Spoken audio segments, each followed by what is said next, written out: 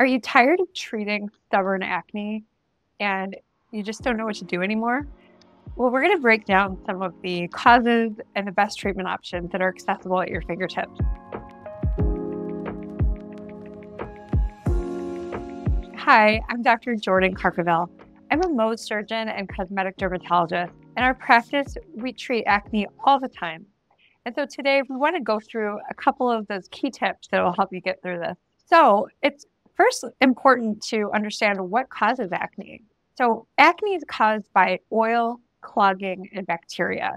When we get clogging of the pores, it blocks things off and acne can build up and create whiteheads, blackheads, and sometimes even inflammation, creating cystic or inflammatory pimples. This is actually something that people aren't necessarily aware of, that all acne is not exactly the same.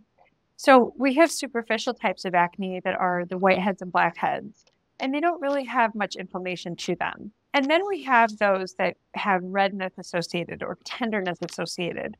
And those ones are important to take care of.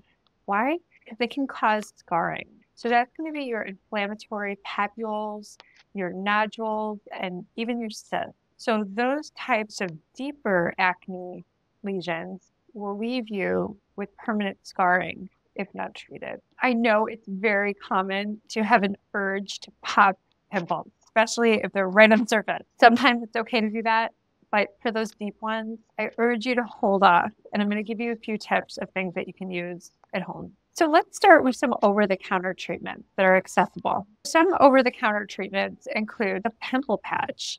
People love that. They can be with salicylic acid and just put it right on. It helps my patients avoid picking. It helps salicylic acid get in, into the lesion and help dry it out.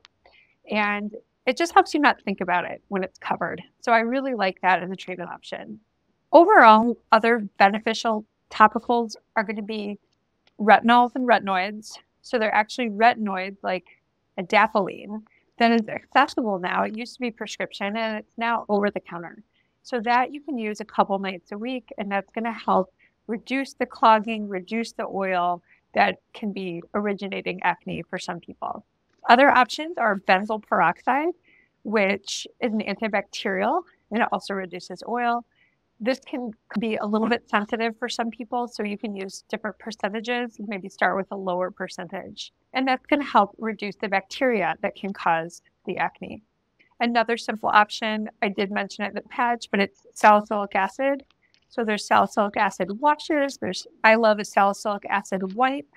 It's almost like an at-home like mini peel. So that's going to help reduce the clogging and oil as well. So those are all really great options that are really at our fingertips because all those ingredients I mentioned are over the counter. There are times where these over the counter treatments are not going to work.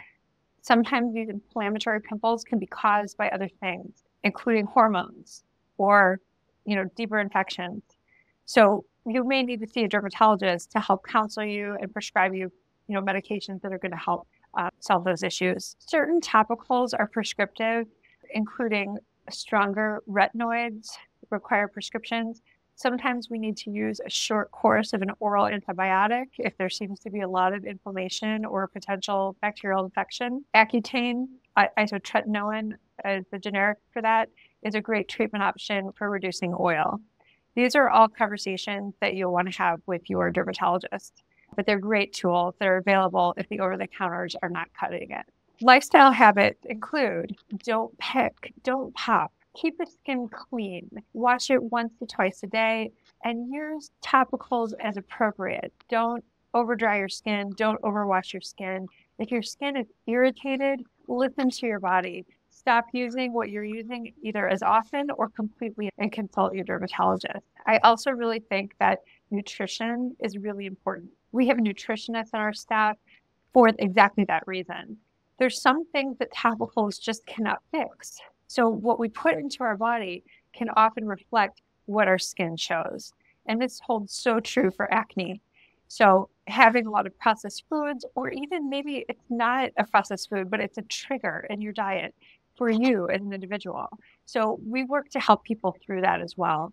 But as a general bit of advice, avoid processed foods, eat whole foods, good vegetables, and drink a lot of water. If your acne is painful, if it's not improving, if it's leaving you with red marks and scars, it may be time to go see a professional. The doctors in our practice are wonderful, and we're here to help develop a plan, mostly to fix your acne and to really help prevent scarring. And there's tons of options to help rejuvenate the skin post acne scarring as well that we can discuss. If you enjoyed the content today, feel free to like the video and follow along, subscribe to our channel. If you have any additional questions or comments, feel free to drop them below.